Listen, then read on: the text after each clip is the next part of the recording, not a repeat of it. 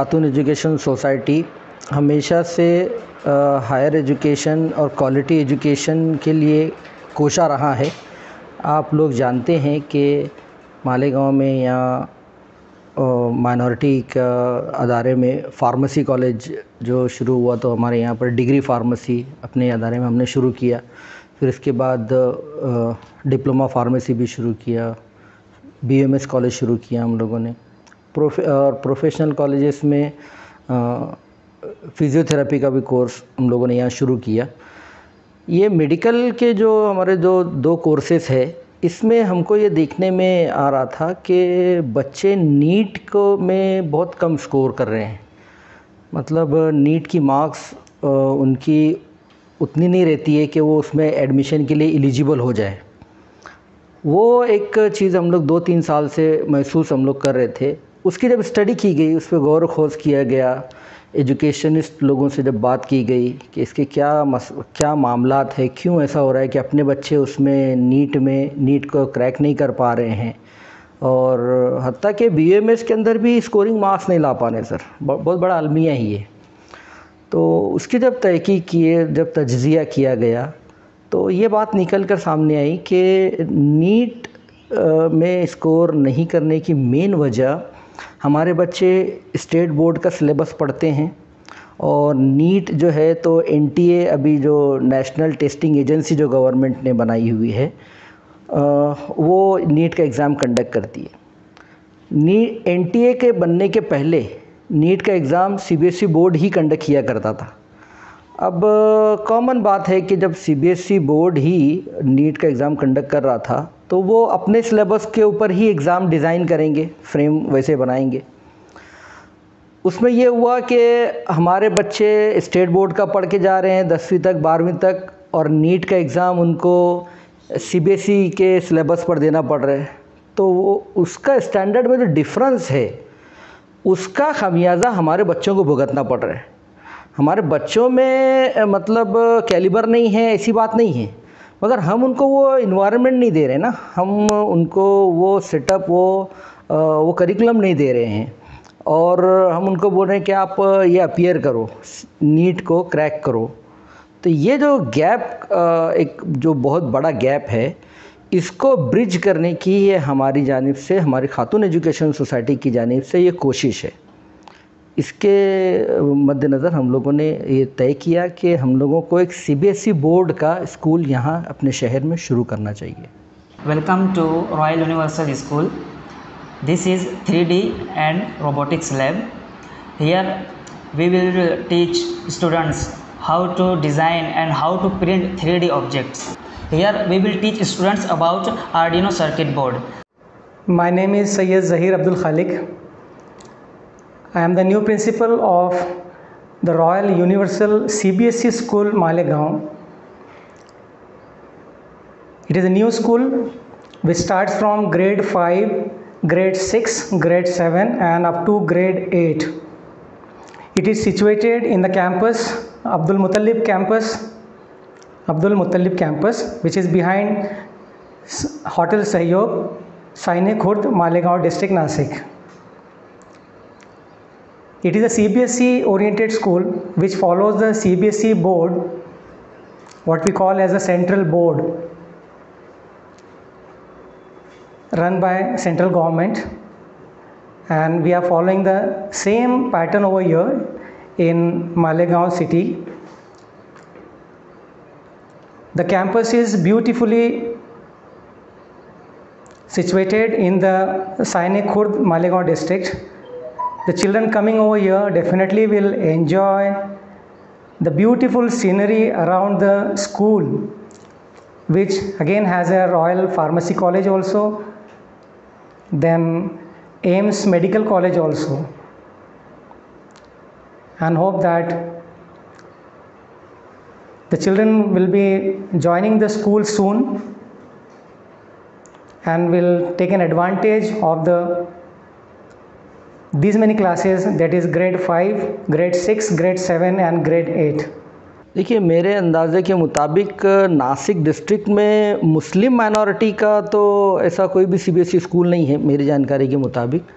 और गैर मुस्लिम जो अदारे हैं, जो बाकी और जो अदारे हैं, वहाँ पर तो काफ़ी स्कूलें हैं। अगर माइनॉरिटी का ये मेरे ख्याल से पहला स्कूल रहेगा नासिक डिस्ट्रिक्ट का। और हमारी ये कोशिश रहेगी कि हम यहाँ पर बच्चों को कॉम्पिटिटिव एग्ज़ाम्स के लिए भी तैयार करें और ओलंपियाड वगैरह के लिए भी यहाँ से बच्चों को तैयार किया जाए। राइट फ्रॉम फिफ्थ स्टैंडर्ड हम कोशिश करेंगे कि बच्चे अलग अलग ओलंपियाड में एमटीएस है एनटीएस है, दसवीं के अंदर एनटीएस का एग्ज़ाम होता है, उसमें हम अपियर कराने, कराएँगे इन और उससे ये होता है कि बच्चों के अंदर एक कॉम्पिटिटिव एग्ज़ाम्स को लेकर उनके अंदर अवेयरनेस भी आती है और उसमें कैसे कॉम्पिटिटिव एग्ज़ाम्स को क्रैक किया जा सकता है, उसका नो हाउ बच्चों को आता है। देखिए, मैं आपको ये बताऊँ कि एक नॉर्मल स्कूल में तो क्लासरूम रहता है लाइब्रेरी है साइंस लैब है, ये कॉमन चीज़ें तो रहती है। हमारे यहाँ पर हमने कोशिश की है कि इंफ्रास्ट्रक्चर वाइज बच्चों को बैठने के लिए क्लासरूम में अच्छे बेंच उसमें इंट्रोड्यूस किए हमने ताकि उनको उनको इर्गोनॉमिकली जो डिज़ाइंड हमारे बेंचेस हैं वो हिसाब से बच्चों को तकलीफ़ नहीं हो बैठने में एक वो चीज़ है। दूसरी आ, हमने क्लास में डिजिटल बोर्ड इंट्रोड्यूस किया है। मैं समझता हूँ ये हमारे शहर का पहला स्कूल रहेगा जहाँ पर डिजिटल बोर्ड है। मेरे ख्याल से आपको उसकी शूटिंग भी लेना चाहिए आपको दिखाना चाहिए आप आपके व्यूवर्स को। दूसरा नंबर ऑफ़ बुक्स हमारे यहाँ लाइब्रेरी में अवेलेबल है। लैब इंट्रोड्यूस की है। मैं समझता हूँ ये भी शहर में पहला स्कूल रहेगा जहाँ पर ये है। एक्टिविटी बेस्ड लर्निंग लैब में हमने यहाँ पर रोबोटिक्स को ज़्यादा ध्यान दिया है। फ्यूचर अभी रोबोटिक्स का ही है। आर्टिफिशियल इंटेलिजेंस है इंटरनेट ऑफ़ थिंग्स है। ये सब जो चीज़ें हैं, ये हमने हमारे स्कूल में इंट्रोड्यूस की हैं और बाकायदा एज ए सिलेबस इसमें हमने इसको इंट्रोड्यूस किया है। अब उसके अंदर हमने थ्री डी डिज़ाइनिंग का उसमें कोर्स मतलब करिकुलम में उसका थ्री डी डिज़ाइनिंग उसके कोर्स में है। थ्री प्रिंटिंग है। थ्री प्रिंटर मैं समझता हूँ किसी ने सुना नहीं होगा अपने यहाँ शहर में, या देखा नहीं होगा। ये फ्यूचर है, ये एजुकेशन का फ्यूचर है। जब तक हम हमारे बच्चों को इन चीज़ों से रोशनास नहीं कराएँगे, हमारे बच्चे आगे फ्यूचर में फ्यूचर रेडी नहीं होंगे। हमको हमारे बच्चों को फ्यूचर रेडी करना है, ताकि वो आने वाले जो दौर है, उसमें दूसरी दूसरी कौमों के बच्चों को कम्पीट कर सके। ये जब हमारे बच्चे ग्रेजुएशन के बाद जब बाहर निकलते हैं, जब चीज़ें उनको ये सब समझ में आती है, ये मालूम पड़ता है। तो ये चीज़ें हमने आर्टिफिशियल इंटेलिजेंस को हम बहुत ज़्यादा इंशाल्लाह उस पर फोकस करेंगे। इंटरनेट ऑफ़ थिंग्स है और बाकी जो कंप्यूटर रिलेटेड जो चीज़ें हैं, हम उसमें हमारे बच्चों को परफेक्ट बनाना चाहते हैं। Royal universal school facilitated with digital board what exactly that digital board concept is? Explanation by means of technology based system. So royal universal school is cbsc board situated in khatun education society's abdul muttalib campus sainak khurd malegaon digital board what is exactly that mean is whatever the concept is there that concept with a three dimensional explanation for proper clearing the concepts this is what the digital board is or digital classroom is. Suppose whatever the thing is there if you want to write and if that text is to be recognized by the software so here i'm giving one example. Suppose royal. So your text will be recognized and will be very well explained by you and will be understood by the students.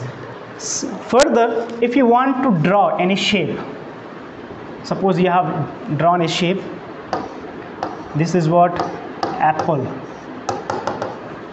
And for the sake of students if you are suppose your student is been admitted in some class and if you want to show that how this picture looks like. Suppose there is drawing drawing examination is there a drawing part is there. So in that if you want to explain what that image is so in a better way you can explain how that shape will be looks like.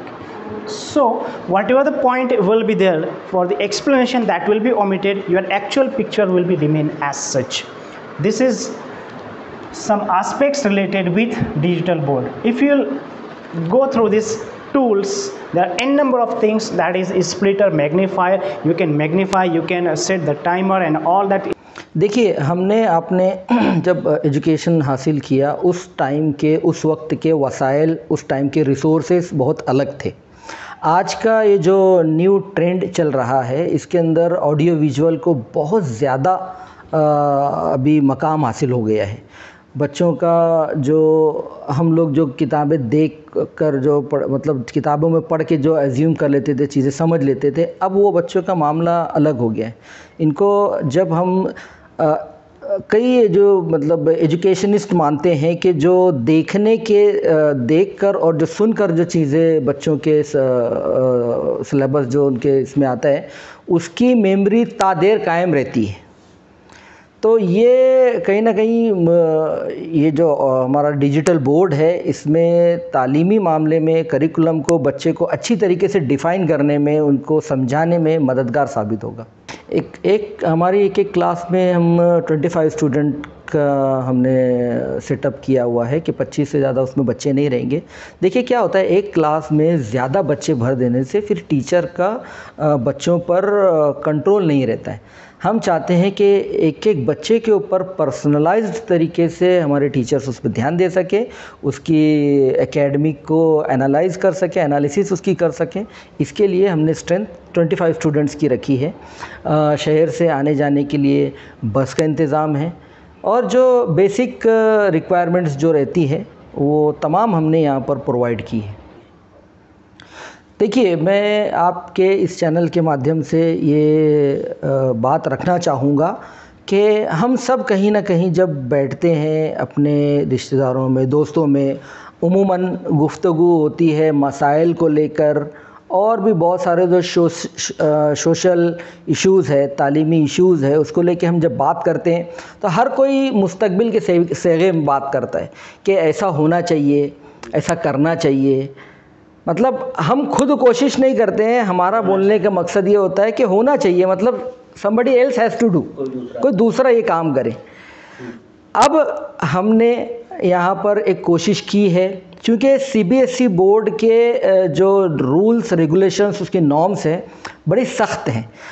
और दूसरे जो अदारे हैं, वो अपनी क्या बोलेंगे उसको, तंजीमी मामला या उनके माशी मसाइल की वजह से वो चीज़ें फुलफ़िल नहीं कर पाते। इसके लिए वो लोग सी बी ई स्कूल शायद सोचते भी होंगे शुरू करने के लिए, मगर वो नहीं कर पाते।